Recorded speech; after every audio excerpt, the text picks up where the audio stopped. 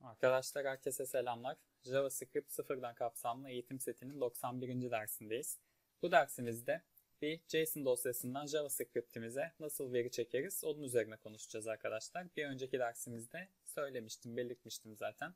Şöyle deneme.json isimli bir tane dosyamız var arkadaşlar. Yine bir önceki dersten şunların süslü parantezler içinde yazıldığını biliyoruz arkadaşlar. Şöyle bir tane kişiler şeklinde ben array dizisi oluşturdum arkadaşlar. Bunun içinde şöyle 4 tane verim var benim. Ve şimdi ben bu deneme.json'ı JavaScript'imin içine çağıracağım ve dokümanımda kullanmaya çalışacağım arkadaşlar. Hemen gelelim şöyle. Hatırlatmakta fayda var. Hala sunucunun içindeyiz arkadaşlar. Server'la çalışıyoruz, XAMPP ile çalışıyoruz. Bu deneme.json'ı çekerken de bizim sunucuya ihtiyacımız olacak arkadaşlar. Kendi başına çekemiyoruz yani. Dilerseniz hemen başlayalım. Oldukça kolay zaten.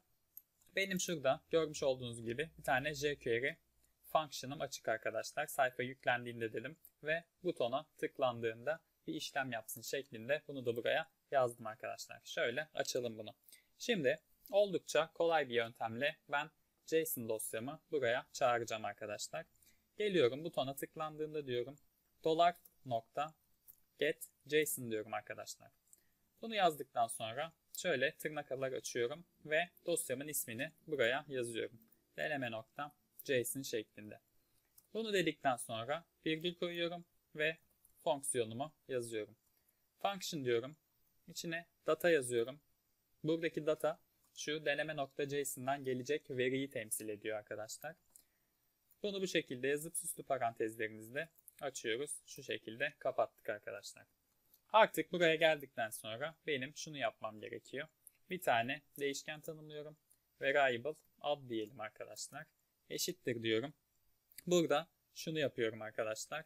Ben şu datanın ismini yazıyorum. Yani benim deneme.json dosyamın içindeki verim data şeklinde yazıyorum. Buraya veri de diyebilirdiniz ya da herhangi bir harf de verebilirdiniz. Size kalmış. Burada veri geldiği için biz data yazdık. Ama siz istediğinizi yazabilirsiniz arkadaşlar. Bunu dedikten sonra ben şöyle süslü paran e, köşeli parantezlerimi açıyorum. Burada görmüş olduğunuz gibi array dizisi olduğu için ben bunu burada köşeli parantezlerle açmak durumundayım. Bu array'imin ismini alıyorum arkadaşlar. Array'imin ismi kişilermiş. Geliyorum buraya. Tırnak içinde kesiler şeklinde yazıyorum arkadaşlar. Bunu yazdıktan sonra şunu yapmam gerekiyor. Tekrar bir köşeli parantez açıyorum. Buradaki dizimin içindeki hangi elemana ulaşmak istiyorsam, bakın burada toplam 4 tane eleman mevcut. Yani sıfırdan başlayıp 3 indekse kadar gidiyor. Bunların indeks numarasını yazıyorum. Örneğin sıfırla başlayalım arkadaşlar. Geliyorum buraya ben. Şöyle sıfır yazıyorum. Evet. Daha sonra bunu da yazdıktan sonra arkadaşlar son olarak tekrar köşeli parantezlerimi açıyorum. Bu kişiler array'imin sıfırıncı elemanının içinde neyi almak istiyorum? Burada isim ve soy isim şeklinde iki tane özelliğimiz var bizim. Geliyorum. Onu da buraya bu şekilde yazıyorum. Şöyle ilk olarak ismi alalım dedim. Daha sonra şunu kopyalayalım soyad diyelim arkadaşlar. Yine datanın içinde kişilere git diyorum. Sıfırıncıya git diyorum. Bu sefer soy ismi al diyorum. Bu şekilde soyadı da ben tanıtmış oldum arkadaşlar. Artık geliyorum. Şöyle dolar diyorum. Şurada bir tane division'ımız mevcut arkadaşlar. Geliyorum ben bu division'ı seçiyorum. ID'si div1 olan nokta html dedim. Ve şu şekilde içine ad yazıyorum. Artı diyorum. Şöyle bir tane boşluk bırakıyorum. Tekrar artı diyorum. Ve soyadı da gönderiyorum arkadaşlar. Bu şekilde yapıyorum. Artık ben denemenin içinden verimi çekmiş bulunuyorum. Geldim. Sayfamı yeniliyorum. Butonuma tıkladım. Bakın Onur Kambur şeklinde bizim birinci elemanımız Onur Kambur'da arkadaşlar. ben bu veriyi çektim. Bunları alıp daha sonra kullanabilirdik arkadaşlar. Yani bu dosyanın içinden çektik bunları. Başka bir yerde kullanmak istiyoruz. Böyle ekrana yazdırmak istemiyoruz. Böyle depolama işlemi de yapabiliriz. Hiçbir sıkıntı olmaksızın.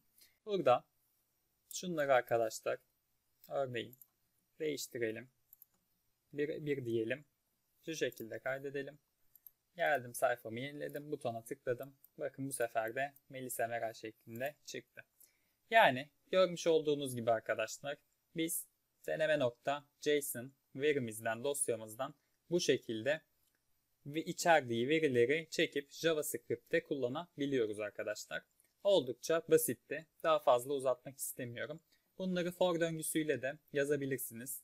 For döngüsü bildiğiniz bir şey zaten arkadaşlar. Aşinasınız. İsterseniz denemesini yapabilirsiniz. For döngüsü açıp bu gelen verileri alıp alt alta sıralayabilirsiniz arkadaşlar. Ben şimdilik bu kadar demek istiyorum arkadaşlar. Artık derslerimizi bitirdik. Bu son dersimizdi.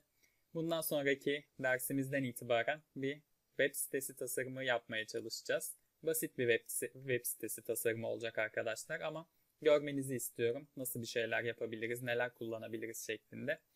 O yüzden şimdilik bu kadar diyelim. Bir sonraki dersimizde görüşmek üzere. Kendinize çok iyi bakın. Hoşçakalın arkadaşlar.